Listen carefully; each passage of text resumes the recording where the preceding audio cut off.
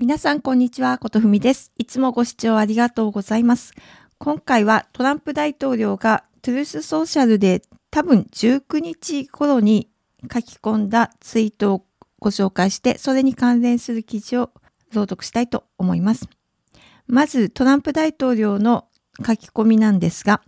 私ほどイスラエルのために尽くした大統領はいません。しかし、少し驚くべきことに私たちの素晴らしい福音主義者は、ユダヤ教信仰の人々、特にアメリカに住む人々よりもこのことをはるかに高く評価しています。しかし、イスラエルに住む人々は別の話です。アメリカのユダヤ人は団結し、イスラエルにあるものに感謝しなければなりません。手遅れになる前に。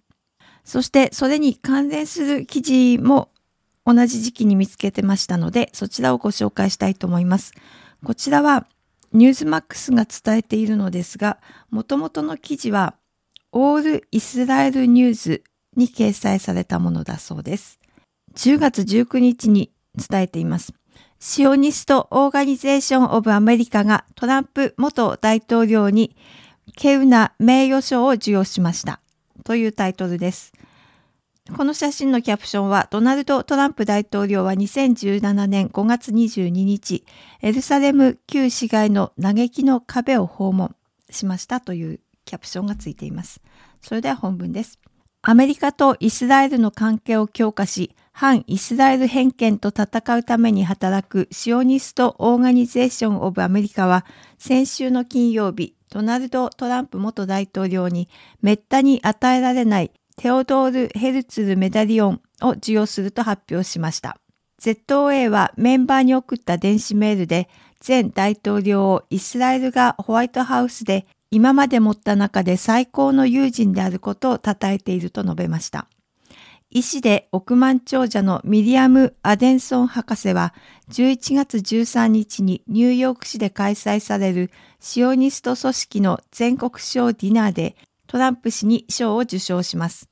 アデルソンはまた、下院少数党院内総務ケビン・マッカーシー、共和党カリフォルニア州選出議員に ZOA のミリアム博士とシェルドン・ジー・アデンソンイスラエル擁護者賞を授与します。メンバーへの電子メールで ZOA は前大統領の業績を次のように述べています。一つ、アメリカ大使館をテルアビブからエルサレムに移した。一つ、ゴラン高原に対するイスラエルの主権を認めた。一つ、アブラハム合意を仲介することは、イスラエル、バーレーン、アラブ首長国連邦間の和平合意を結ぶものでした。そして3ヶ月後、イスラエルとモロッコ間でも結ばれました。一つ、2015年のイラン核合意からアメリカを排除しました。一つ、パレスチナ自治政府と UNRWA に対する米国の資金提供を停止しました。一つ、ユダヤとサマリアにおけるユダヤ人入植地の合法性を認めました。一つ、嘆きの壁で祈った最初の米国大統領であること。一つ、ユダヤ人学生を保護するために公民刑法第6編を強化する大統領令の発令です。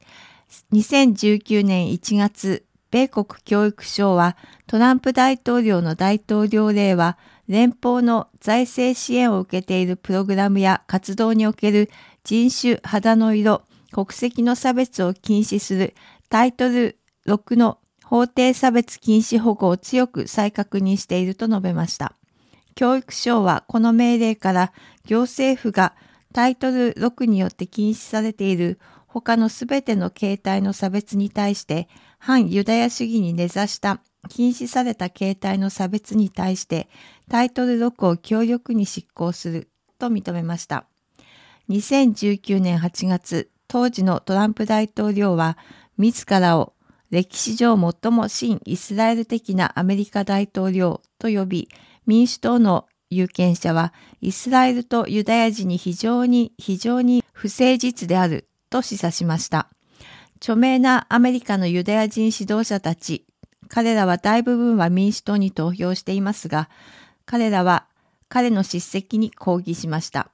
それにもかかわらず、ほとんどのイスラエル人はイスラエルに対するトランプの立場を肯定的に認識していました。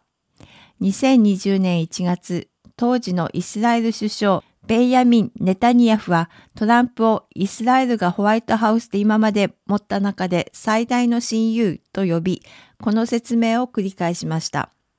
ビューリサーチセンターが2019年春に33カ国で実施した調査によると、大多数の人55%がトランプ氏の政策に賛成した唯一の国はイスラエルでした。イスラエルでは71%がアメリカ大統領の世界指導部に自信を示しました。という記事です。以上、ここまでです。ありがとうございました。それではまた。